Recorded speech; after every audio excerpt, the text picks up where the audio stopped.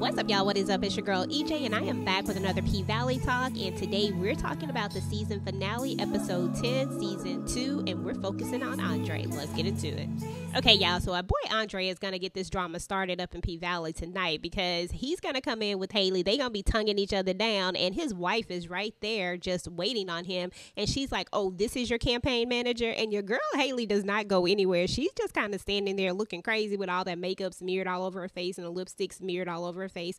It's kind of crazy, but anyway, your boy Andre and his wife Brittany are gonna be going at it, and they're just gonna have some, you know, I guess some truths that needed to be said that hadn't been said. And they're going to talk to each other. They're going to have an adult conversation about it. And to be honest, I think this is probably the end for this couple, but who knows? Now, Andre is going to be like, hey, if you like to act or pretend or whatever he said, he's like, showtime. So they're going to go out to the cameras now. Keep in mind that your boy Corbin has hyped Andre up into thinking that he's possibly going to win this thing. So they're going to go out to the cameras, and your girl Haley is going to give Andre a call, and she's going to be like, keep your head up, King.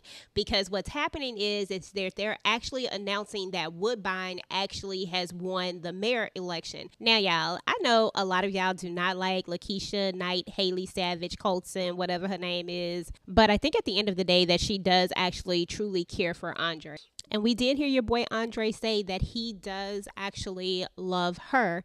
So I think that, you know, when it's all said and done, this is going to be a interesting storyline to follow when we get our season 3 because we claim in season 3, y'all. We're going to keep saying when because it's going to happen. But anyway, your boy Andre, of course, as I said earlier, did not win the election, but he does announce that he is going to be staying in Chucalissa and that he is going to be opening a practice there and, you know, everybody's excited about that because this is Tydale's godson. And, you know, the godson has returned.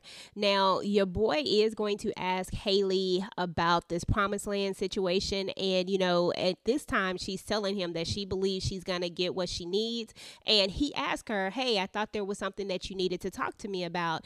And she just, you know, gave him some other line and decided not to talk to him about it. Now, you are going to see him in a later um, in a later scene where he's going to be going to visit his daddy that's in prison. Now, he's going to be trying to call Haley, but of course, her number has already been changed. So, anyway, y'all, that is what happened on season two, episode 10, the season finale with Andre. Now, I am interested in what is next for Andre's character, y'all, because they definitely left this storyline open. Now, we know that they've closed some things, but there were some things that are just left unanswered, which seems like they're going to continue it into the next season, which one of those things is going to be this whole Andre and Haley thing.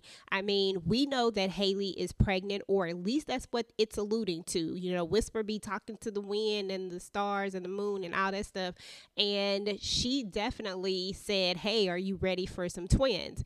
And we know that Haley's been sick. We know that she was rubbing on that belly when she made it to wherever she was at when she left town.